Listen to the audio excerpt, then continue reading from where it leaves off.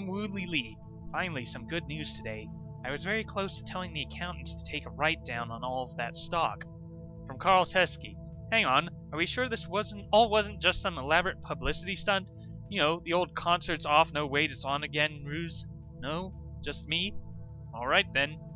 From Joe. There's a rumor online that Cool Dad was actually framed by his twin rivals DJ Like and DJ Subscribe. oh wow. From David P. Solomon, will we get any sort of special deal on tickets? Xiao Mei and I would be interested in going. Alright. Well, that's down. Next project. Would you believe it? Color coordinating shoes. From Joe. So last night I met a designer for a major international athletic wear company. She was in Shenzhen to tour some factories. We had a really good chat, and we went and got a couple drinks together, and, well, you know how it goes. One thing led to another, and, to turn a long story short, soon enough we had a product idea. Specifically, automatic color changing running shoes. Everyone loves brightly colored shoes, but matching them to outfits can be a pain. Shoes made from e-textiles could adjust to the rest of your outfit automatically. The design team sent over some color data tables to get started. Oh, I wonder. I did that thing wink at me? The, the concept cat? Okay. So, button is a simple input connected to a button, and sensor is a simple input connected to a color sensor. Ink K and Ink N are simple outputs connected to pieces of fabric coated with color-changing electrochemical dye. While the button is held, values from the color sensor should be read and bucketed according to the color classification chart. When the button is released, ink K and ink N should be set to the values corresponding to the color that most frequently occurred during the calibration period as indicated in the smart dye color space. There will never be a tie. Prior to calibration, ink K and ink N should each be initialized to a value of 50, corresponding to a neutral color. Look in the supplemental data section of the manual to find the wavelength-based color classification chart and the ink smart dye color space. So, back to the manual.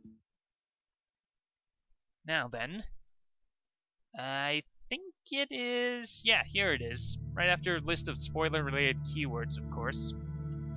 Okay. Confidential information do not redistribute without authorization. Intelligent ink. Wavelength-based color classifications. Light color, red. Light wavelength, 620 nanometers to 750 nanometers. Min value 20, max value 39. Smart dye color dot blood. Orange, light wavelength 520, or uh, 590 nanometers to 620 nanometers. Minimum value 40, max value 49. Smart Dye color, deep nacho. Yellow, light wavelength 570 nanometers to 590 nanometers. Minimum value 50, maximum value 59. Smart Dye color, chartreuse abuse. Green, light wavelength 495 nanometers to 570 nanometers. Minimum value 60, maximum value 69. Smart Dye color ballistic viridian, light color blue, wavelength 450 nanometers to 495 nanometers, minimum value 70, maximum value 79. Smart dye color cool dad, trademarked. Light color violet, white light wavelength 380 nanometers to 450 nanometers, minimum value A, max value A9. Smart dye color high purple, and ink dye ink smart dye color space. There is an n-axis and a k-axis. Chartreuse Abuse is at 5.5. Deep Nacho is at K50 and 5. Dot Blood is at 95 at K95 and 5. Neutral is at 50-50. Ballistic Viridian is at K5 and 60. Cool Dad is at K15 and 80. And High Purple is at K75 and 85. Well, this will be a little complicated, but shouldn't be... I don't think it should be too difficult, although I keep saying that, don't I? Alright, so let's take a look at verification. But input. Okay, then, uh, so I think an MC 6000, or an MC 4000 here. And then another 4000 maybe.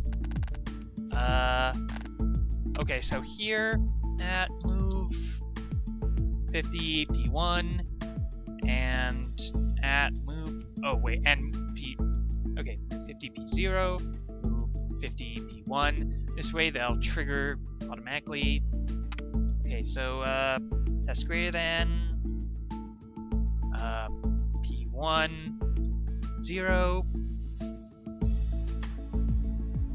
If it is, then we need to move P naught accumulator. Huh. Or wait, what if... What if we have something else testing it, I think? I don't know. Here...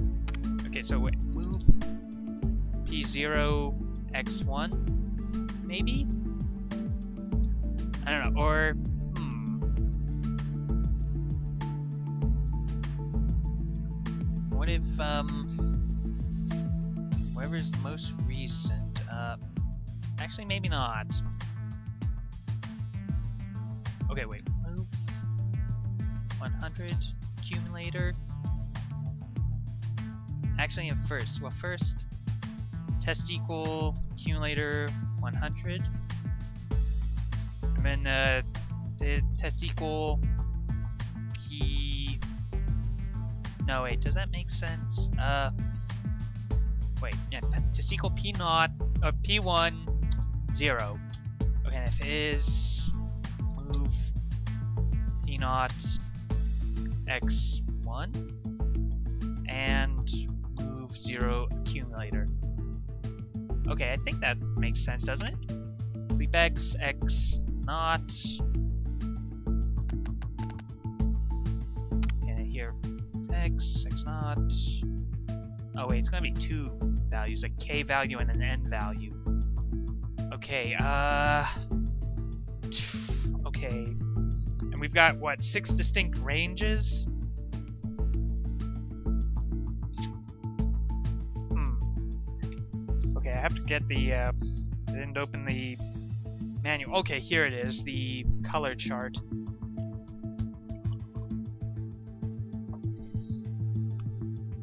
This is gonna take some time, I think.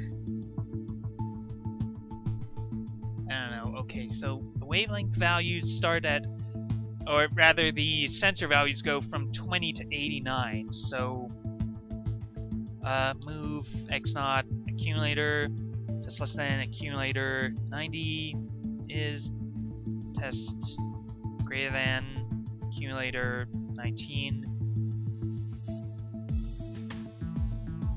Okay, I think I'm gonna need a 6000 maybe. I don't know. Uh, okay, is accumulator x3, otherwise move 0 x3. Sleep x, x2, move x2, dat, then uh, test equal dat 0 is uh, move 50 x3, move 50 x3, jump, sleep. I don't know.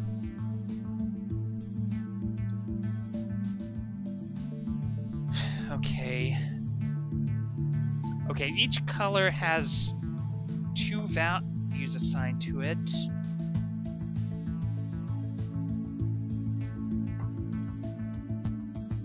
So...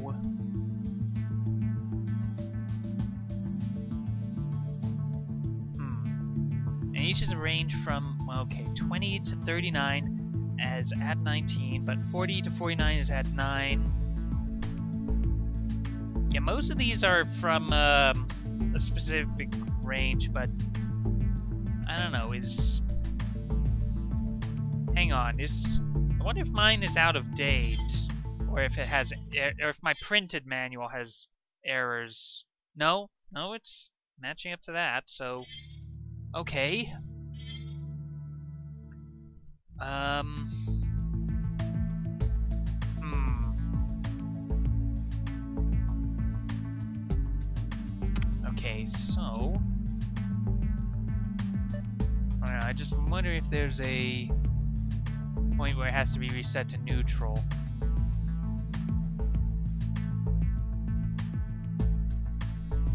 Um, read and bucketed whenever when fun is released in communicating and should be prior look at okay. Or maybe no I don't know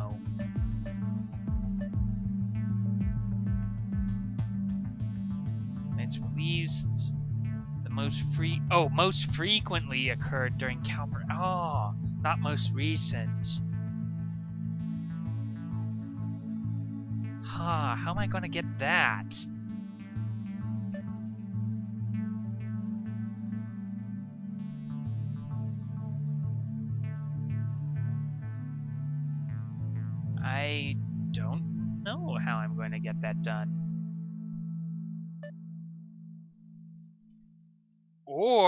maybe I could, um, no. Okay, I was thinking of doing digit gets command for, um, but I don't know, because most of these are, most of these, it, what matters is the tens digit. Okay, so I think, I don't know, what, I think I need a RAM chip for this. Okay, so, I don't know. RAM chip. Just send it to data, or, hmm. Okay, what if, what if instead I place this here, that there, that there, then I can put the RAM chip here, use this bridge here, and put that in there. Okay, so, okay, so if it's greater than zero, no, uh. Okay, no, or.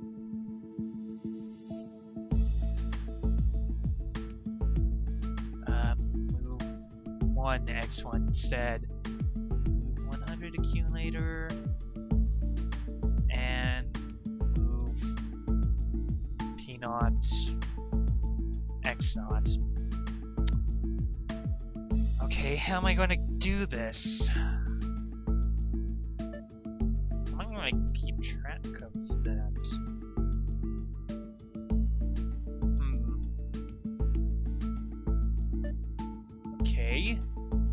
Button is held, values from color sensor should be read and bucketed according to color changing.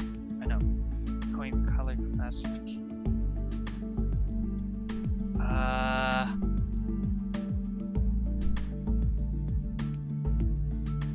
hmm. Maybe not, or, well... Or maybe I could have something that processes an MC6, an MC4000X that maybe processes... Um... X, X not, move, X not, accumulator. Okay, and then I could digit get it. So, where is... Oh, I should have just pulled out my language reference card as well. Yeah, okay, here is uh, DGT... Wait, does that make sense? DGT...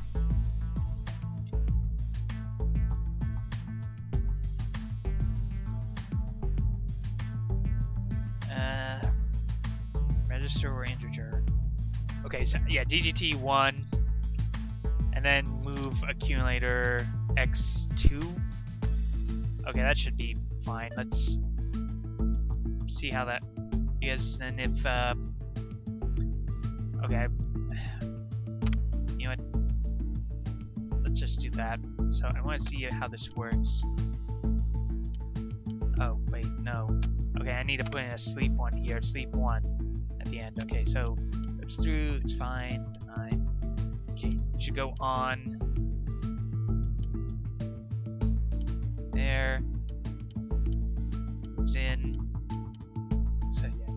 5, which is a yellow.